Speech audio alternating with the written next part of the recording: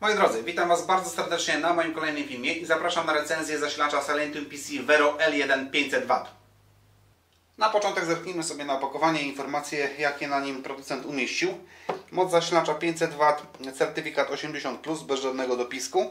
Dwa złącza PCI Express, mm, e, kompatybilność ze stanami uśpienia C6, C7 tyczy to się procesorów Haswella, tajwańskie kondensatory wytrzymujące do 85 stopni Celsjusza. 12 cm wentylator, 2 lata gwarancji door to door, pojedyncza linia 12V, 5 zabezpieczeń oraz niski poziom hałasu. Na tyle. Od razu Wam powiem jak wygląda sprawa e, tabliczki znamionowej. Linia 12V 36 A, obciążalność tej linii 432 W, linia 3,3 V 22 A, 5V 18 A i łączna obciążalność tej linii 100 W. Tutaj producent podaje, że w, w szczycie ten zasilacz może wytrzymać 600 W, natomiast pamiętajcie, że nominalna wartość tego zasilacza, moc tego zasilacza to jest 500 W. Zabezpieczenia jakie posiadamy nadnapięciowe, przeciwzwarciowe, mm, przeciwprzeciążeniowe, przeciw, przed prądami udarowymi oraz przed zbyt niskim napięciem. I kable, oczywiście powiem Wam później końcóweczki, jak wyglądają, ile mamy końcówek poszczególnych e, na poszczególnych kablach w tym zasilaczu. Natomiast zobaczmy sobie na długości kabli. 24,5, 43 cm, EPS 2x4,5, czyli 8-pinowy, długość 580, czyli niecałe 60 cm. Długość kabli SATA i Molex około 730, czyli 73 cm i kable PCI Express 43 cm długość tych kabli. Do większości obudów Mini Tower powinno bez problemu to wystarczyć. I teraz zerkniemy sobie na zasilacz, jak wygląda okablowanie, a później zerkniemy sobie troszkę do środka i zobaczymy, jak to wszystko wygląda. Z akcesoriów dołączonych do zasilacza znajdziemy trzy opaski e, samozaciskowe, tak dokładnie 3 i 4 śrubki do przymocowania zasilacza w naszej obudowie. Wspomniałem wcześniej 12 cm wentylator chłodzący, nasz zasilacz z tyłu nic nadzwyczajnego, czyli otwory wentylacyjne, włącznik, wyłącznik i logo e, na obydwu stronach zasilacza, czyli nieważne jak położymy zasilacz czy wentylatorem do góry, czy też do dołu, logo będzie, że tak powiem, zawsze e, w odpowiedniej pozycji. Na górze oczywiście tabliczka znamionowa, o której Wam mówiłem już z zapakowania, także nie będę teraz tego powtarzał. Przejdźmy do kablowania, bo to jest teraz tak naprawdę najważniejsze. Oploty na kablach prześwitują, także zdecydowanie widać wszystkie tutaj przewody w środku. 24-pinowy kabel z odłączoną końcówką, czyli 20 plus 4. Kabel EPS, jak mówiłem, dość długi, 60 cm, niecałe, 58 mm, dokładnie. Także spokojnie wystarczyć powinien w każdej obudowie MIDI Tower. Rozłączone końcóweczki 2x4, czyli razem 8 pin. E, złącze PC Express, czyli dwa razy mamy 6 i 8 pinowe do zasilania jednej mocnej karty graficznej. Mm, peryferia. Kable dość długie. Trzy złączki SATA na jednym kablu, dość daleko od siebie roz, tutaj rozstawione, także żeby domknąć bok obudowy będzie pewnie trzeba je wyginać. Nie da rady zamknąć tego bez tej operacji, że tak powiem. Kolejny kabel z trzema końcówkami SATA, czyli w sumie mamy już 6 końcóweczek SATA. I kolejny kabel z końcówkami 2 razy Molex i 1 razy floppy, czyli mamy w sumie dwa Molexy, jedno floppy, 6 złącz SATA, dwa złącza PCI Express, kabel EPS 8-pinowy i 24 pin. To jest nasze okablowanie. Teraz zerkniemy sobie do środka, zobaczymy między innymi jakie mamy tutaj e, kondensatory w środku, jak wygląda generalnie estetyka i tak dalej. Teraz zerkniemy sobie do wnętrza zasilacza. Od razu na samym początku mówię, że nie jestem jakimś wielkim specem, także e, wybaczcie mi, jeżeli popełnię jakąś e, tutaj pomyłkę i błąd. I mam nadzieję, że światło tutaj będzie dobrze się sprawowało i będziecie wszystko widzieli, co chcę Wam pokazać. Główny kondensator TIPO 450V, trzy radiatory, jak widzimy, dość spore. Dalej, pozostałe kondensatory to są TIPO i są jeszcze inne, których nazwy nie jestem w stanie tutaj zlokalizować. Mm, próbowałem z wszelkich stron, ale niestety e, nie mogę odczytać nazwy tych kondensatorów. Jedynie co zauważyłem to tylko to, że e, ich wytrzymałość jest do 105 stopni Celsjusza. Jeżeli chodzi o e, tutaj napięcie, filtrowanie napięcia wejściowego do zasilacza przy, zaraz przy kostce zasilającej, mamy kondensator typu X, ten żółty i pod nim mamy dwa kondensatory typu Y, ceramiczne, jednego nie widać. Niechludnie, niechludnie tutaj one są zbytnio przylutowane, także nikt się do tego raczej tu nie przykładał. Zobaczcie, no niezbyt jest to elegancko zrobione, powiem szczerze. I dalej, y, tutaj nie jestem pewien, ale ten niebieski to jest chyba Varystor MOV, no to jest kolejne zabezpieczenie przeciw zbyt wysokiemu napięciu. Natomiast głowy nie dam uciąć, nie bijcie, jeżeli się pomyliłem. Także tutaj pokazuję Wam jak to wygląda, a ci, którzy się na tym znają lepiej ode mnie, prosiłbym o komentarze. Dwie cewki i pomiędzy nimi kolejny kondensator typu X oraz kilka kondensatorów, już tutaj para kondensatorów Y ceramicznych. Tak to wygląda, jeżeli chodzi o wnętrze naszego zasilacza. Teraz przejdźmy już do pomiaru napięć w czasie spoczynku. Nasze dzisiejsze otoczenie jest to 33,3 dB. Decybelometr ustawiony jest dokładnie 40 cm od naszego zasilacza. Zobaczmy jaki poziom generuje. Oczywiście wszystkie inne wentylatory tutaj na komputerze, czyli na chłodzeniu dokładnie są wyłączone.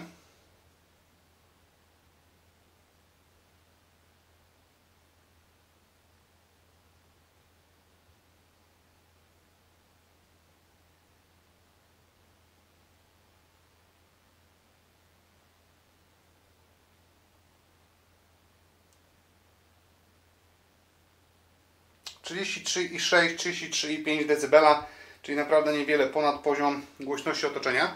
Ja teraz przystawię mikrofon do samego tutaj wentylatora, posłuchajcie.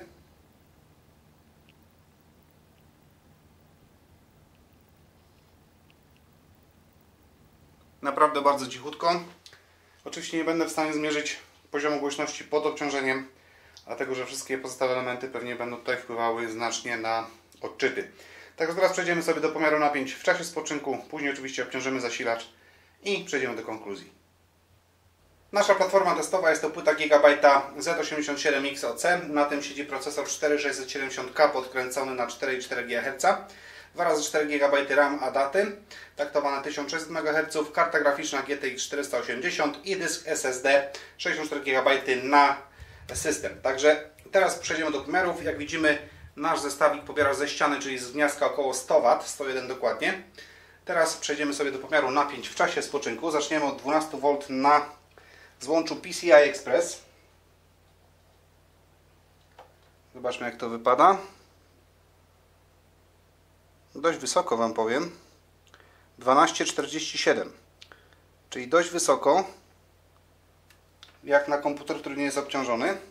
Teraz 3,3 V na złączu 24 pin.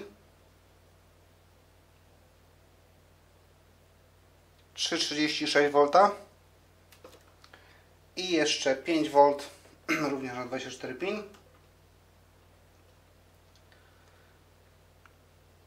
Pięć V mamy 5 13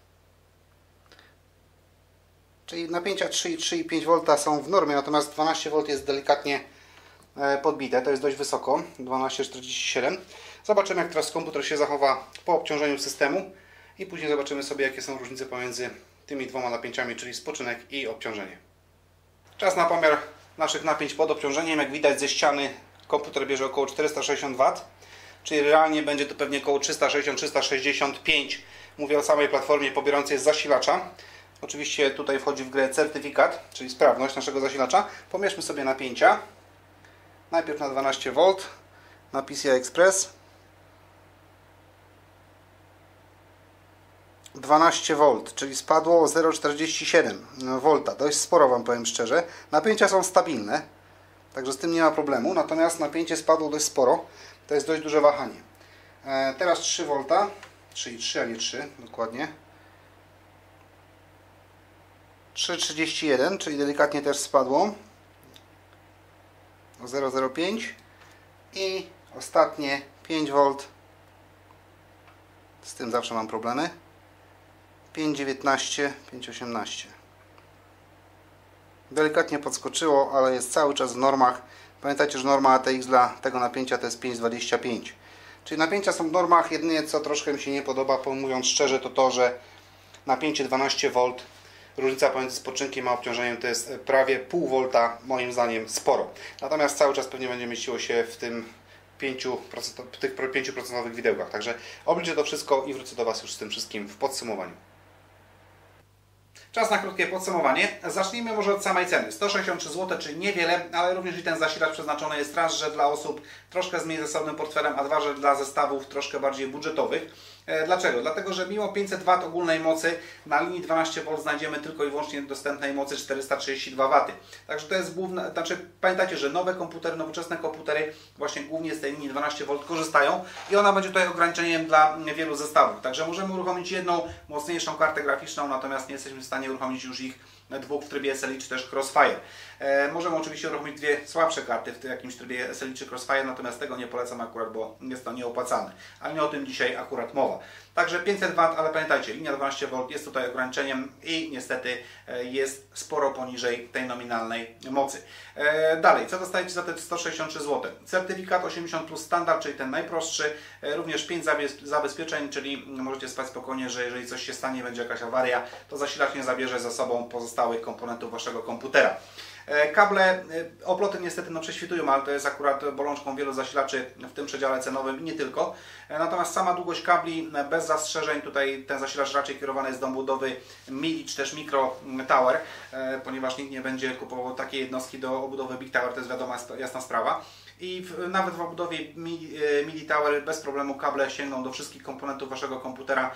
APS, tutaj kabel EPS 8-pinowy 2x4 ma 58 cm, czyli spokojnie powinien wystarczyć bez żadnych przedłużek do podłączenia pod płytę główną, jeżeli oczywiście macie do tego typu przystosowaną obudowę e, i wycięcie na ten kabel. Także z kablami nie ma problemu, również sama ilość złączek 6 razy SATA, tutaj na dwóch kablach po trzy e, i mm, powiem Wam szczerze, że dość daleko są te końcówki od siebie rozstawione, dość sztywne są te kable i oploty na tych kablach, także będziecie musieli doginać kabelki, żeby zapiąć e, panel boczny obudowy, zwłaszcza w tych mniejszych obudowach, gdzie tego miejsca na zarządzanie kablami jest troszkę mniej, także tutaj mogłyby te odstępy być troszkę mniejsze lub też na przykład zdjęte oploty w tym e, momencie, wtedy łatwiej byłoby te kable mm, ułożyć. Także tak to wygląda.